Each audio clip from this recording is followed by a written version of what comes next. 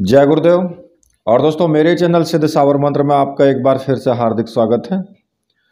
और देखिए, आज मैं आपके सामने जो एक साधना आपको देने वाला हूँ, वो एक बहुत ही दुर्लभ और विशेष साधना है। जीवन की एक सर्वश्रेष्ठ साधना है। ये साधना आप शिवरात्रि के दिन कर सकते हैं, किसी सोमवार के दिन कर सकते हैं। नमः शिवाय। देखिए ये पंचाक्षर मंत्र है। अगर ओम लगा देते हैं तो ये षडाक्षर मंत्र हो जाता है। और ये जो मंत्र है, ये जीवन के प्रत्येक कार्य, प्रत्येक आपकी जो समस्याएँ हैं, सबका निवारण करने में पूर्ण रूप से सक्षम है। इस मंत्र की साधना प्रत्येक व्यक्ति को करनी ही चाहिए। देखिए, हमारे जो मंत्र हैं, उन सभी मंत्रों में जो नमः शिवाय है, वो मंत्र बहुत ही सीधा है, सरल है। और एक तरीके से मानिए कि बहुत ही जीवन के लिए अनुकूल भी है। और सही तो यह है कि जिस प्रकार से, देखो, देवादिदेव महादेव हैं, भगवान शंकर, वो एकदम सौम्य हैं और शीघ्र प्रसन्न होने वाले हैं। वो एक अवगढ़दानी है। और हमारे पूर्वजों ने भी इस मंत्र के बारे में बहुत कुछ चर्चाएँ विशेष रूप से की हैं, जो ग्रंथों में और शास्त्रों में लिखित भी हैं, कि इस मंत्र के अंदर अद्भुत क्षमताएँ हैं। भगवान शिव का सबसे प्रिय मंत्र है। और ये जो मंत्र है, ये आम बोलचाल की भाषा में भी कोई बहुत ज़्यादा मतलब यूज़ ही होता है। अब देखिए, और साथ ही साथ एक चीज़ और भी है कि इसके कोई दुष्परिणाम भी नहीं है। मतलब कि और जहाँ आप तीव्र मंत्र हैं या तंत्रोक्त साधनाएँ हैं, उनको जहाँ आप करते हैं तो उनमें आपके लिए कुछ दुष्परिणाम होने की संभावनाएँ भी रहती हैं। हालाँकि सात्विक साधनाओं में नहीं रहती हैं कुछ भी ऐसी समस्याएँ। लेकिन ये एक ऐसा मंत्र है जो शिव मंत्र है।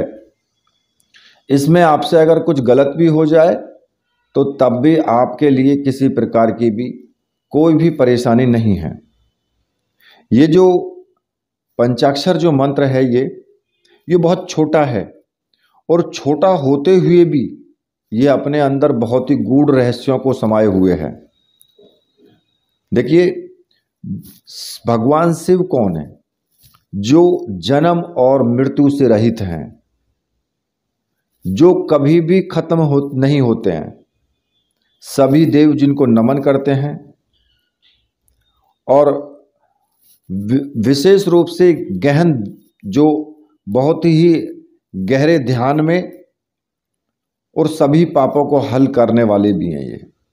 जो हमारे सभी पाप हैं, उन सभी पापों का समन भी करते हैं और शास्त्रों में तो एक प्रकार से ये कहा गया है कि ये सर्वभूषण है, नीलकंठ हैं। पूरे विश्व ब्रह्मांड में व्याप्त हैं ये। और जो सर्व गुरु हैं, वो शिव ही हैं। अब आप यहाँ पर एक चीज़ समझिए। सर्व गुरु यानी कि जितने भी गुरु, सभी गुरु, कोई भी हो, वो शिव ही है। अब यहाँ पर एक बात आ जाती है कि बहुत से लोग ये कहते हैं कि भाई, एक देहधारी गुरु होना चाहिए। उनसे हम कुछ बातें तो पूछ सकते हैं, या कुछ समस्या है तो उसका समाधान कर सकते हैं। लेकिन भगवान शिव को अगर गुरु मान ले तो फिर वहाँ हम उनसे कैसे मतलब अपनी समस्याओं का निवारण करवाएँ? कैसे उनसे बात करें? तो देखिए, यहाँ पर बातें करने की आवश्यकता नहीं है। ज़रूरी नहीं है कि गुरु आपसे, आपको बताएगा, आपसे बात करेगा, तभी उसका समाधान होगा। गुरु तो आपको उस रास्ते की तरफ़, आपकी जो आत्मा है, जो आपका मन है, उस रास्ते की तरफ़ ऑटोमेटिक ही खींच करके ले जाते हैं वो।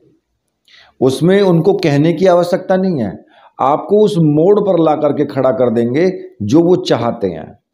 जैसा आपको होना चाहिए उस वक्त। तो इसमें ना तो बात करने वाली बात है कि भाई वो बताएँगे तभी होगा। तो इसमें भगवान शिव आपको उसी रास्ते पर लेकर के जाएँगे और उसी तरीके से आपका मन परिवर्तन होगा।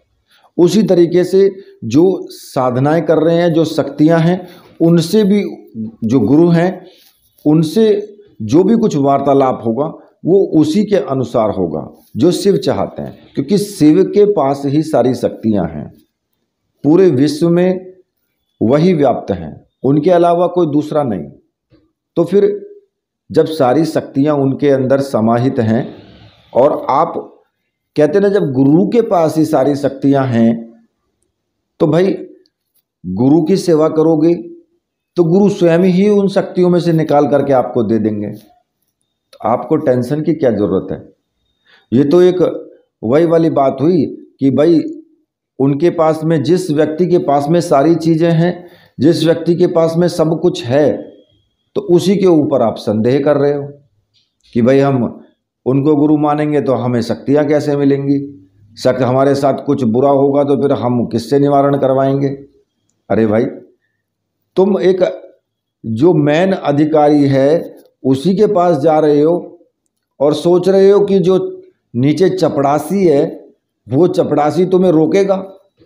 जब तुम जो बड़ा अधिकारी है, उसके सानिध्य में हो और उसकी उस आपके ऊपर विशेष कृपा है और उससे आपकी मित्रता है या फिर आप उसके शिष्य हैं, कुछ भी हैं तो हिम्मत ही नहीं है जो नीचे वाला जो चौकीदार है, वो आपको रोक दे।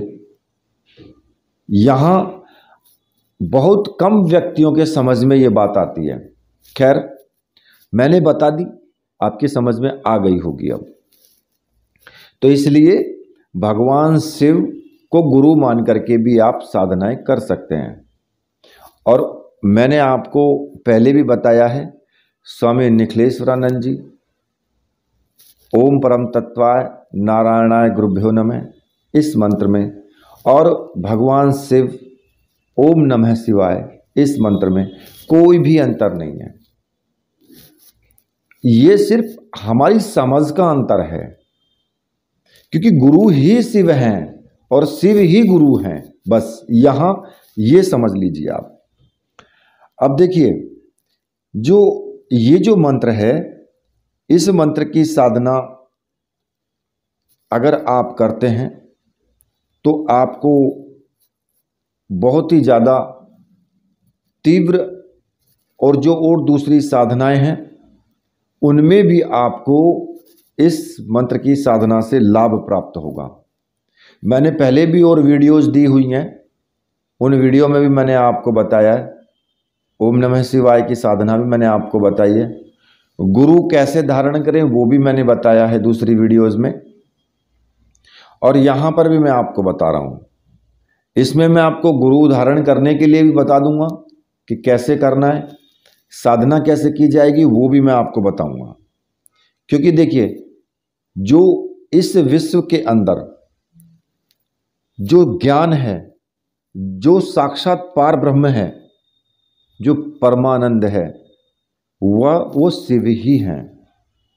तो इसलिए आप ये ना सोचें कि भाई शिव की हम जो मंत्र की साधना करते हैं, नमः शिवाय करें या ओम नमः शिवाय करें, उसमें आपको कुछ अनुभव नहीं हो रहे हैं। क्योंकि आज के समय में व्यक्तियों की समस्या क्या है? व्यक्तियों की समस्या ये है कि वो तुरंत फल चाहिए उनको। उनको चमत्कार चाहिए और चमत्कार को वो नमस्कार करना चाहते हैं। जबकि साधनाएँ, तपस्या, पूजा, ये सब चमत्कार की वस्तु नहीं है। ये अपने आप को मोक्ष की तरफ़ ले जाने की क्रिया है कि भाई हम मोक्ष की तरफ़ जाएँ। चमत्कार तो हाथ की सफ़ाई करने वाले, बाजीगर, जादू वाले भी दिखा देते हैं। वो आपकी आँखों के सामने दिखा देंगे। लेकिन क्या आप उनको उस चमत्कार के भरोसे अपने उनके कहे हुए जो भी वो कहें उस बात को मानने को तैयार हो जाओगे क्या? या एक जो बाजीगर होता है ना, वो सभा के बीच में खड़ा होकर के आपसे एक रुपया लेता है। उस एक रुपये के बदले वो आपको दो रुपये करके दे देता है कि मैं इस एक रुपये के दो रुपये कर दूँगा। और वो करता भी है। लेकिन अगर वो एक रुपये के बदले दो रुपये करना चाहे, कर देता है तो भाई उसे खेल दिखाने की ज़रूरत क्या है? उसको खेल दिखाने की ज़रूरत नहीं तो वो तो घर बैठ के कर लेगा। एक रुपये के दो दो रुपये के चार चार के आठ तो वो तो इसी तरीके से कर लेगा ना। फिर उसको वहाँ पर लास्ट में उस बाजीगर को हाथ फैला करके या कटोरा लेकर के भीख मांगने की क्या ज़रूरत है? आप इस चीज़ को नहीं समझते उसी तरीके से कई जगह मेरे सामने ऐसे वाक्य आ जाते हैं कि भाई, मेरे पास में मैसेज भी आया था एक, कि एक व्यक्ति ने कहा जी, मैं आपको परी की साधना दे दूँगा, उसका ट्रांसफ़र मैं आपको दे दूँगा। और आपको बीस हज़ार रुपये देने होंगे और मैं उससे पूजा पाठ करूँगा, पूजा का सामान लगेगा और बीस हज़ार रुपये आप देंगे तो मैं यहाँ से आपके लिए परी ट्रांसफ़र कर दूँगा। और वो परी आपको सब कुछ ला करके देगी। आपको रुपए ला करके देगी, धन दौलत सब कुछ कहीं से भी ला करके देगी वो आपको। अब बात वही आती है कि भाई अगर वो रुपए ला करके देगी तो फिर तुम्हें रुपए मांगने की आवश्यकता क्या है? भाई बीस हज़ार रुपये तुम किस बात के मांग रहे हो? तो उस बीस हज़ार रुपये की आवश्यकता क्या है अगर वो परी ला करके देगी? या फिर ट्रांसफ़र हो जाएगा ऐसे? तो ऐसा नहीं होता है। आप ये सब, हालाँकि मेरे ये बात कहने से बहुत से लोगों को बहुत चिड़ होगी, क्योंकि, और वो अनाप शनाप कमेंट भी करेंगे, लेकिन मुझे कोई परवाह नहीं है इस चीज़ की। क्यों नहीं है? क्योंकि सत्य कभी छुपता नहीं है, और सत्य कभी झुकता नहीं है। सत्य सत्य ही रहेगा, और सच्चाई यही है। ठीक है? तो मेरे कहने का सीधा सा यहाँ पर मतलब है कि भाई, ये कोई चमत्कार की वस्तु नहीं है। ओम नमः शिवाय, मंत्र जाप करना या नमः शिवाय मंत्र जाप करना। यहाँ चमत्कार जो है, लोग उसी साधना को सच मान लेंगे कि इस साधना में बहुत पावर है कि भाई हमें चमत्कार हो रहे हैं इसमें तो अनुभव हो रहे हैं। मेरे सामने बहुत से ऐसे केस आते हैं कि कहते हैं कि जी, हमें अनुभव ही नहीं हो रहे, पता नहीं हमारी साधना कैसी चल रही है। अरे, तुम्हें अनुभव से मतलब क्या है? तुम ये देखो ना कि तुम्हें उसका लाभ प्राप्त हो रहा है कि नहीं हो रहा है। होगा। एकदम नहीं होगा। थोड़ा टाइम लगेगा।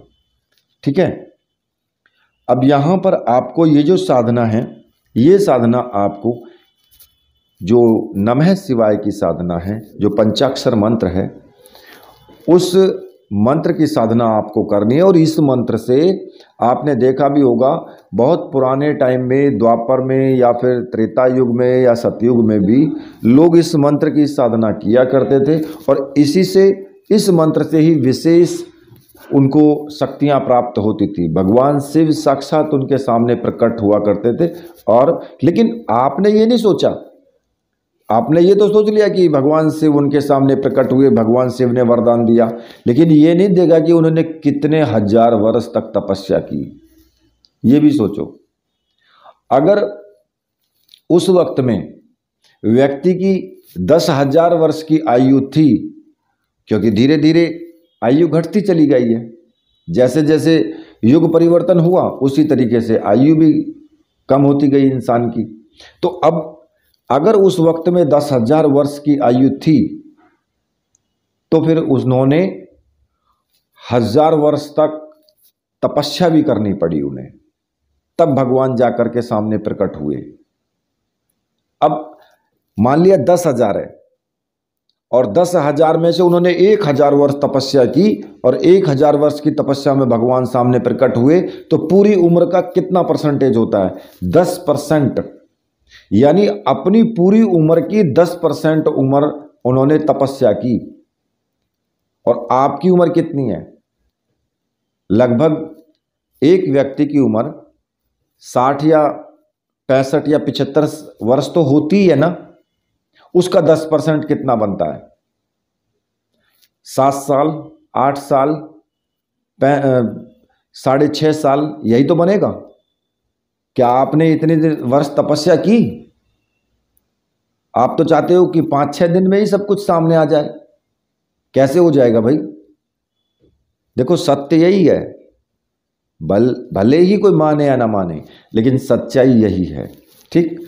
अब आगे बात करते हैं साधना की। हालाँकि कुछ लोग कहेंगे, जी, आप तो बेकार की बातें करते हो। लेकिन जो कुछ कहेंगे ना, सब तो नहीं कहेंगे। कुछ उन कुछों से मुझे कोई वास्ता नहीं है। ठीक है? अब बात आती है यहाँ पर कि भाई, ओम नमः शिवाय या नमः शिवाय जो मंत्र है, उस मंत्र को हम कैसे सिद्ध करें? कैसे उसका मंत्र जाप करें? कैसे गुरु धारण करें? अब मंत्र आप कोई सा भी शिव मंत्र गुरु धारण में बोल सकते हैं। ठीक है? चाहे आप नमः शिवाय करो या ओम नमः शिवाय करो, कोई फ़र्क नहीं पड़ता है। और यहाँ पर यह साधना जीवन की सर्वश्रेष्ठ साधना है। सब कुछ प्राप्त किया जाता, जा सकता है इस साधना से। अब यहाँ पर यह साधना आप किसी भी सोमवार से शुरू कर सकते हो और महाशिवरात्रि, शिवरात्रि से भी आप इस साधना को शुरू कर सकते हो। साधना सुबह के टाइम ही करनी है आपको। अब आप उसको चार बजे से आठ बजे के बीच में कभी भी कर सकते हो। ठीक है? इस साधना में आपको जो मुख्य रूप से विशेष आपको दो सामग्रियों की आवश्यकता होगी। एक तो आपके लिए शिव यंत्र, ठीक है? और दूसरा, रुद्राक्ष की माला। स्फटिक की माला से भी कर सकते हो, लेकिन रुद्राक्ष के लिए तो अच्छा है, और अगर स्फटिक की भी है तो ठीक है।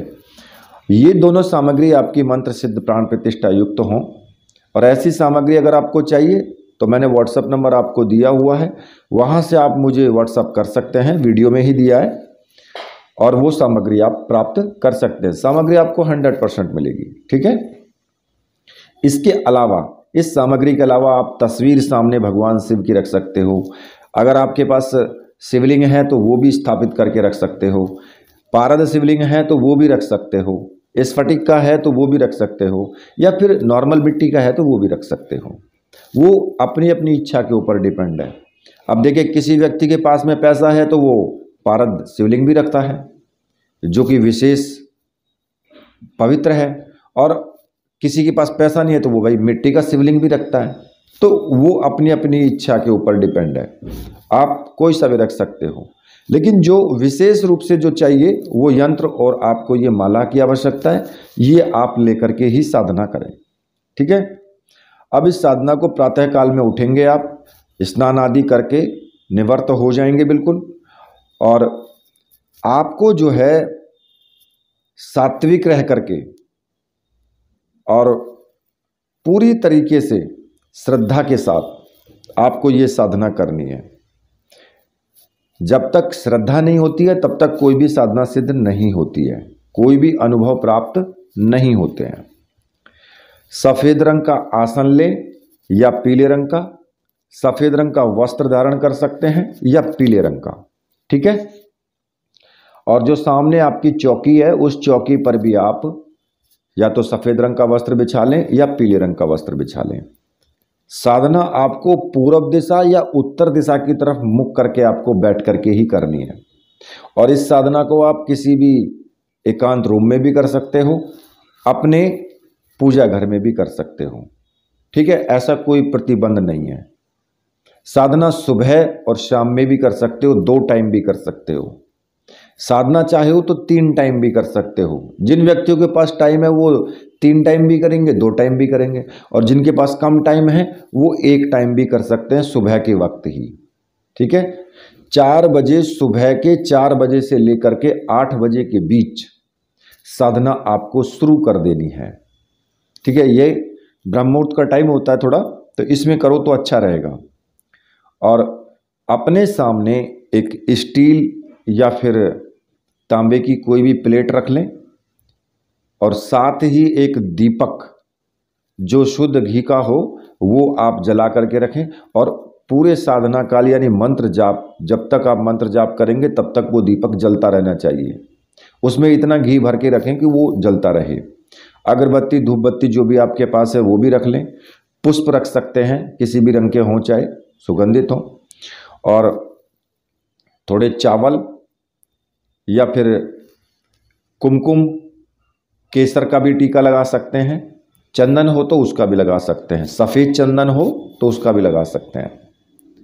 अब यहाँ पर आपको क्या करना होता है कि जब ये सब चीज़ें आपके पास हो जाएँगी तो आपको क्या करना होगा? देखिए, अगर आपके कोई गुरु आपने पहले ही धारण किए हुए हैं कि जो भी आपके गुरु हैं तो फिर आपको अपने गुरु का जो चित्र है, वो ज़रूर वहाँ पर रखना है। देखिए, शिव ही गुरु हैं, ये भी आपको पता है, मैंने बता भी दिया है।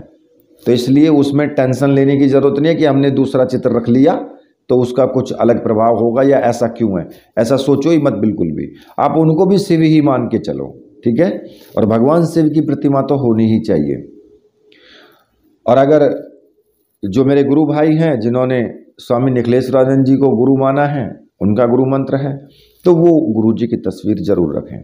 और सबसे पहले तो गुरु पूजन ही होना चाहिए। ठीक है? अब ज़रूरी नहीं है कि सभी लोग भगवान शिव को गुरु मान करके ही साधना करते हैं।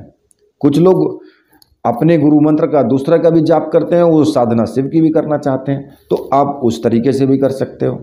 मतलब कि कोई भी किसी तरह का व्यवधान नहीं है बीच में। जैसे भी करना है वैसे करो। आप बिल्कुल आज़ाद हो उसके लिए।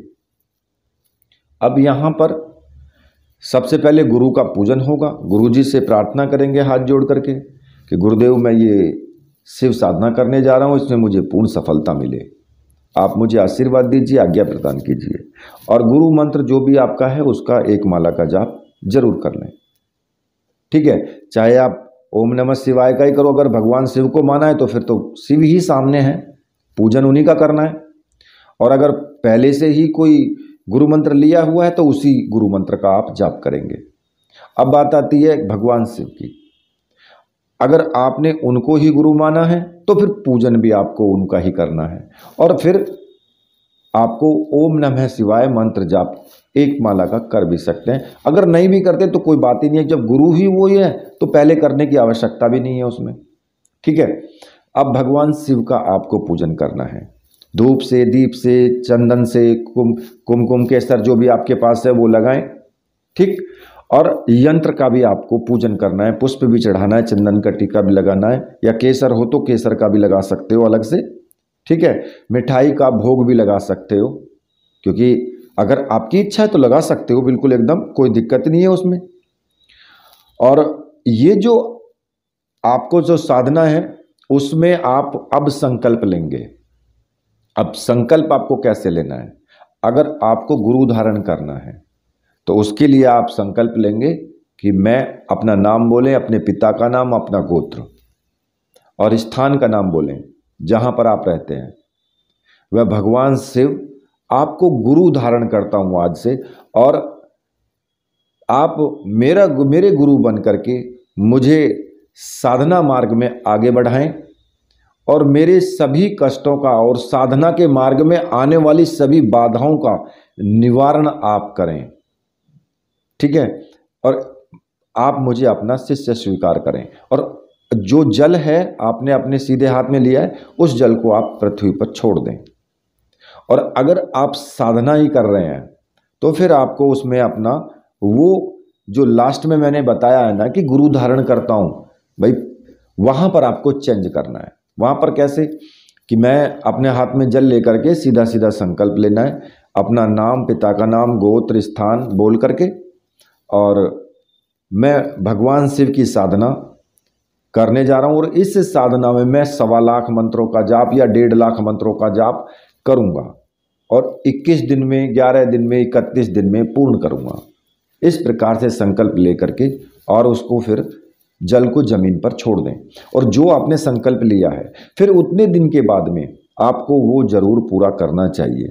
अगर किसी वजह से साधना खंडित हो जाती है तो फिर आप क्षमा मांग करके दोबारा से साधना करें। फिर उसको आप पूर्ण करें। ठीक है? अब इसमें लास्ट में क्या करना है आपको? कि आपको करान्यास करना है। अगर आप करना चाहते, कर सकते हैं। नहीं भी करते हैं, तब भी कोई दिक्कत नहीं। देखिए, कुछ लोग ऐसे हैं कि जिन पे, जिनको नहीं आता है, वो पढ़े लिखे ज़्यादा नहीं है। तो उनको, वो ना भी करेंगे, तब भी कोई बात नहीं है। लेकिन जो करना चाहे, वो कर भी सकते हैं।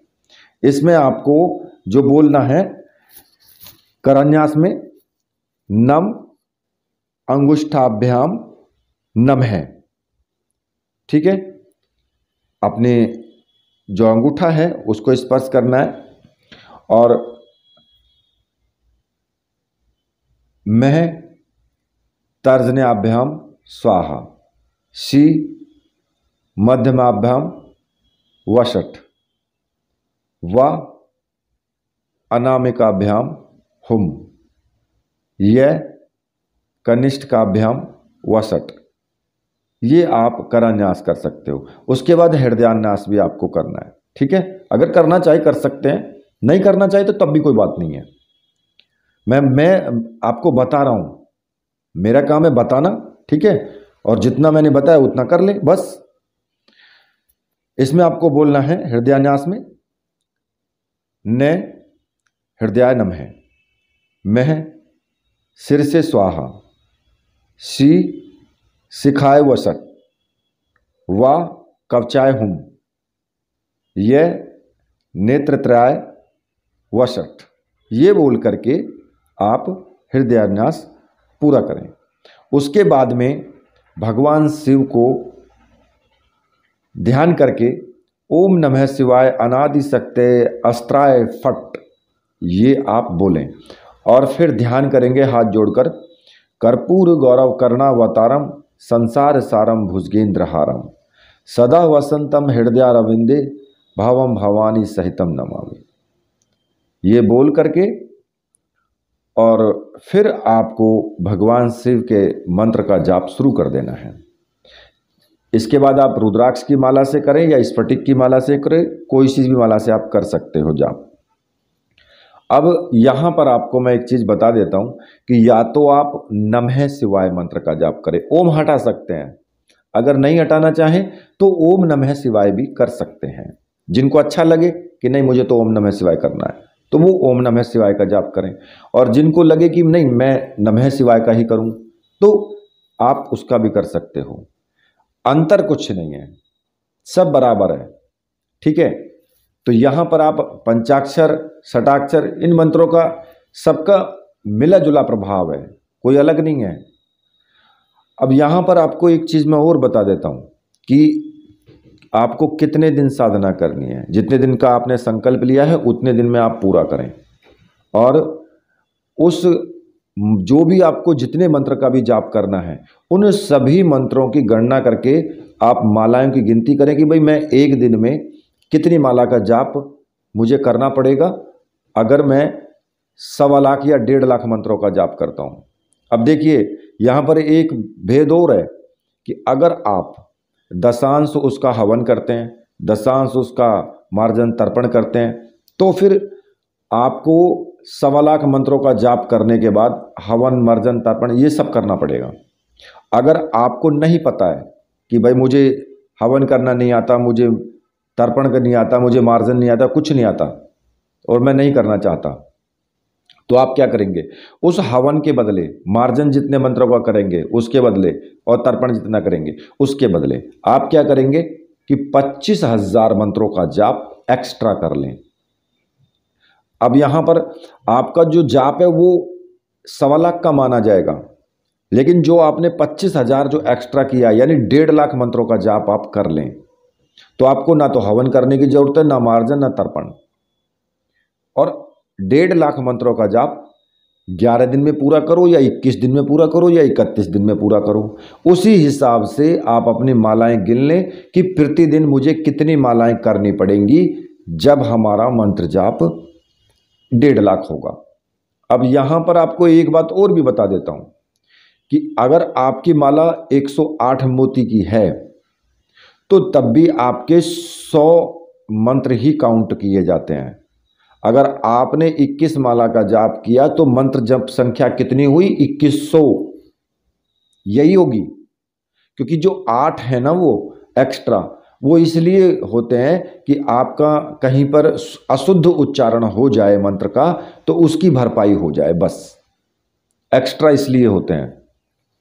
अगर माला 105 दाने की है, तब भी मंत्र के लिए काफ़ी है। 101 दाने की है, तब भी चलेगी। ठीक है? उससे कोई फ़र्क नहीं पड़ता। तो हंड्रेड यानी कि सौ ही आपके मंत्र जाप माने जाएँगे, एक माला पूरी होने पर। 108 नहीं माने जाएँगे। ये आप सोच करके चलें। तो अगर आपने डेढ़ लाख मंत्रों का जाप आपको करना है तो आपकी जो मालाएँ बनेंगी, वो पंद्रह सौ माला होंगी। कि पंद्रह सौ माला का जाप आपको करना है। तब आपका डेढ़ लाख मंत्र जाप पूरा होता है। और पंद्रह सौ माला आप कितने दिन में करोगे, कितनी माला आप पर डे कर सकते हो, उसी हिसाब से उनको जो है गुणा भाग कर लेना। ठीक है? तो ये साधना आपको उतने टाइम में पूरी करनी है। अब अगर मान लिया कि आप पचास माला सुबह करते हो, पचास माला शाम को करते हो तो फिर आपका वो एक दिन में सौ माला हो गई। यानी कि दस हज़ार मंत्रों का जाप आपका हो गया। उस तरीके से। तो उस तरीके से आपकी जो साधना है वो पंद्रह दिन में पूरी हो जाती है। उसके बाद आपको ना हवन करने की ज़रूरत है, ना मार्जन, ना तार्पण। कुछ करने की आवश्यकता नहीं है। लेकिन एक बार ये साधना पूरी होनी ही चाहिए डेढ़ लाख की संख्या की। उसके बाद ही फिर कोई साधना करे तो ज़्यादा अच्छा है। ठीक है? और इस साधना को करने से सभी प्रकार के रोगों से आपको निजात मिलती है। सौभाग्य की आपको प्राप्ति होती है। सुख हो, मिलता है आपको, सम्मान हर जगह मिलेगा। ठीक है? संपत्ति आपको मिलेगी इसी से। इस मंत्र से कोई ऐसा कार्य नहीं है जो ना हो सके। और अब इस मंत्र की साधना करते टाइम आपको पूर्ण रूप से ब्रह्मचर्य व्रत का पालन करना है, मन से और तन से। मैं आपको देखिए हर वीडियो में बताता हूँ। मन और तन दोनों बताता हूँ। लेकिन बहुत से व्यक्ति तन से तो करते हैं, पर लेकिन मन से नहीं हो पाता है। इसलिए मन से ज़रूर करें। सोच अपनी सही रखें बस। और दूसरा यम नियम के जो सिद्धांत हैं, उनका ज़रूर पालन करें। कैसे? कि भाई किसी को ईर्ष्या नहीं, द्वेष वगैरह, ये सब चीज़ों से अलग हट जाएँ। जब तक आप साधना करें, तब तक सात्विक भोजन करें, सात्विक विचार रखें अपने। आचरण आपका शुद्ध होना चाहिए। अब कुछ लोग जो करते हैं, साधना तो कर रहे हैं, लेकिन वहाँ फिर कुछ और ही चल रहा है। तन से तो आप ब्रह्मचर्य व्रत का पालन कर रहे हैं, लेकिन मन से नहीं हो पा रहा है। किसी भी स्त्री को देखने के बाद आपके मन में विकार पैदा हो जाते हैं। तो साधना फिर खंडित होने के चांसेस होते हैं, ज़्यादा। इसलिए इन चीज़ों पर विशेष ध्यान रखें। ठीक है? और साधना में आपको अनुभव होते हैं तो तो ठीक है, बहुत अच्छी बात है। नहीं भी होते हैं तो घबराने की आवश्यकता नहीं है। कृपा प्राप्ति तब भी होगी। ज़रूरी नहीं है कि साधना में अनुभव हो, तभी वो सही मानी जाएगी। सही तो वो तब भी है, आप कर रहे हो, फल आपको तब भी मिलेगा। यह ज़रूरी नहीं है कि आपको अनुभव ही हो। ठीक है? तो इस साधना को करिए और साधना में पूर्ण सफलता प्राप्त कीजिए। एक ही वीडियो में मैंने पूरा समझाने की कोशिश की है। और जिनको समझ में आ गया है, बहुत अच्छे, उनकी बल्ले बल्ले हैं। और नहीं आया है तो फिर दोबारा से वीडियो एक बार फिर देख लें। ठीक है? इसी के साथ मैं आपसे विदा लेता हूँ। मेरे साथ बोलिए बोलिए वीर बजरंग बली हनुमान जी महाराज की जय। बोलिए मेरे परमहंस गुरुदेव की जय।